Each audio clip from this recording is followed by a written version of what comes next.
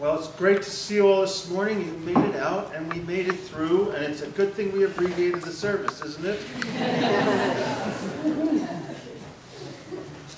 First of all, I want to express some words of thanks to folks who helped to make together come today come together. Um, to Lynn and Keith Beard for doing the bulletin, and um, to Lynn for setting up for our remembrance and honoring of those new saints. To Karen for, of course, always working to put together meaningful service, and to Karen Snowberg for volunteering to, to uh, reproduce the bulletins. We're grateful to you guys, and uh, also especially grateful to Al Hoft who kept you all, all of you who had email anyway, kept you all in the loop this week by sending out the family link. Al, thanks so much. That's a real blessing and, and very helpful. We appreciate that. Um, because we have no heat, there will be no evening confirmation class tonight. Um, all right, take However, we're hoping that by Tuesday the heat will be back on. We will have book study and deacons meeting on that day. This coming Saturday, Evangelism is still planning its work party from, uh, Roger, do you remember what time you said we were going to gather? 9 a.m. 9 a.m. So if you have, want to come out and help us do some clean up and fix up around the church, um, come on, meet us here at 9 o'clock on Saturday morning. And that evening, it is Saturday, right? We have a Marty party. November 10th is Martin Luther's birthday. So we're going to have a Marty party. We're going to do a little bit of Martin Luther Jeopardy and just have some fun time together. So that's this coming Saturday at what time did we say? 5:30, and it's a potluck. And it's a there will be a birthday cake. 5:30 potluck birthday cake for Marty. Prizes, What's that? prizes. Prizes? Marian's helping with this. oh wait, I'm helping with this. You're okay. Got it. Um, we do have fellowship downstairs in Pearson Hall after worship. Um, Irene, I know that you had an announcement. I can't see you because it's dark. Oh, you're not supposed to be over there. No, I received a letter through the email from uh, Ron Bruce, who's the uh, head of the uh, Lutheran Social Services. And uh, of course, they're asking for contributions to the services, to the Lutheran service, Lutheran Social services. And um, I do have 20 letters here, if anybody needs the written information. Uh, I think they also went through the email to everybody. But um, if you make out a check, you can make it out to Emanuel, but designated for the Hurricane Sandy uh, relief. And also, if you want to make the check out to Lutheran Social Services, on the bottom of my letter here is the address. Uh, I'm just to say what? Uh, The other thing is, though, uh, we also are collecting food. Usually we collect closer to Thanksgiving, but I think we could start collecting more now. Uh, I just gave some off today to uh, Sue Barilli, who's in charge of moving it along. So if you feel, you know, that you want to do this, baskets in the uh, uh, hallway, and so bring your food in anytime. Okay? Great, thanks, Irene. On the email that was sent out to you with the link to Lutheran Social Services, um, there was, there, the original link came incorrect. It said www.elcs.org. It should have been elca.org for more information, or to give directly to the ELCA. So if you go back to that email, that second link should be elca.org if you want to do something to help.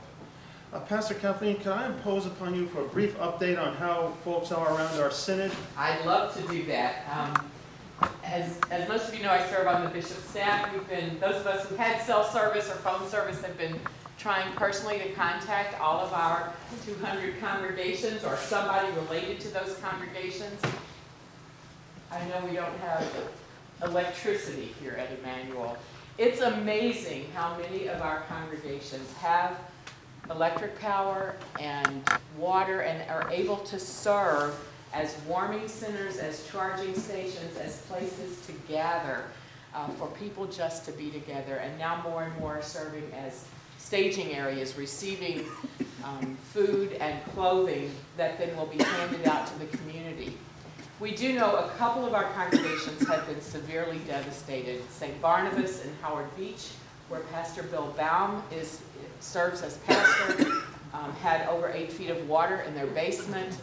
Um, extreme loss in the community. Um, if you're on Facebook, uh, Pastor Baum posted a Facebook pastoral letter, uh, kind of describing the community. He also did a YouTube video that you can see. It's hard to imagine a community that uh, neighbor after neighbor, block after block, nearly everyone lost their cars. Um, Everyone has had flooding. So that's the one very serious congregation. Please keep them in your prayers and help as you are able, um, and look for that information from Pastor Baum. Also, Trinity Lower East Side serves over uh, uh, 250 meals, maybe more than that, every day. They lost all of their food supplies. Lutheran Social Services is already stepping in to help them. We had um, uh, the CEO for Lutheran Disaster Response on a conference call day before yesterday, so Lutheran Disaster Response is stepping in and helping us know how best to respond um, to, to these specific needs. Um, um, St. James and Gerritsen Beach also had serious flooding. We have not yet heard from St. John by the Sea on Long Beach, but Oceanside, the nearest congregation just on the other side of the water, is fine, and in fact is one of those uh, places that has electric and power and heat, and people are gathering. So that's what we know now. We hope just after Monday we'll be having another, I'm gonna actually try to go into the city on Monday, so you can try. I've had remote um, access and able to, we've been on conference calls, but able to do that this week. But I'm gonna try to go into the city on, on Monday, and we'll be regrouping in any case and, and probably trying to get an email out to everyone to let you know how our congregations are doing. But praise be, um, um, it could have been worse. right? God, God is watching over us and God is with us. Can I, I, can I do my little mini sermon since I didn't get to As I sat here this morning, I found myself, I know you're sniffing and maybe that's cold, but I was crying. I sat here and at the top of this center window, what shines out is Alpha and Omega. And then the baptismal candle. And as I sat here and watched that, that promise of God's eternal presence with us, and, and that will not fail, no matter the storms that come. So thank you for being my church family. And it was worth the, uh, Gary, getting in the car and driving about 40 minutes is an act of faith that we will be able to replace the gas. So we came from, from, from Carmel today to worship with our church family. I'm glad you were here. We're you're here. Thank you so much. Uh, Other announcements this morning? Richard? Uh, Pastor, the uh, bell ringers are going to be doing the uh, fruit and uh, citrus sale this holiday season. Um, We'll be getting out the information for that in probably this week, so just look forward for that. Okay, great, thanks, Richard. We'll, we'll be happy to support the Ringers if we need fruit, fruit citrus sales for the Ringers to help with their fundraising. Um, Look for information about that coming, coming through. Karen, do you know something? Sure. I have two announcements. Um, First one is musical. This afternoon at 5 PM, I will be uh, participating in a Vesper service at Holy Trinity on the Upper West Side. Uh, They do these Vesper services from the end of October through Easter, and each Sunday, they, they take the text from that particular day and use the cantata that Bach wrote and do the cantata as part of the worship service, the Vesper service. It's a beautiful service.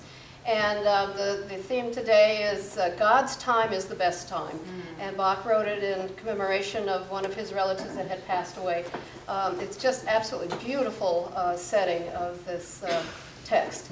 And then my other announcement, of uh, excuse me, 5 o'clock, that's at um, Central Park West and 66th Street. And they have heat and electricity.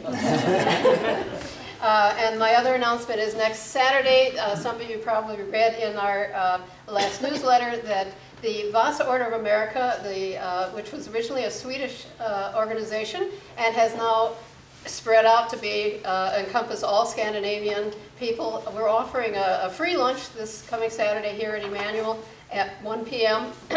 We're not having Scandinavian food for this particular one, it's a lasagna luncheon, but anybody that's interested in Scandinavian culture, uh, family traditions is, is very welcome to come. Just let me know you're coming so I know how much food to arrange for. Uh, That's 1 PM on Saturday. Thank you. Other announcements this morning? Okay, then I'd like to invite you to stand to receive the blessing.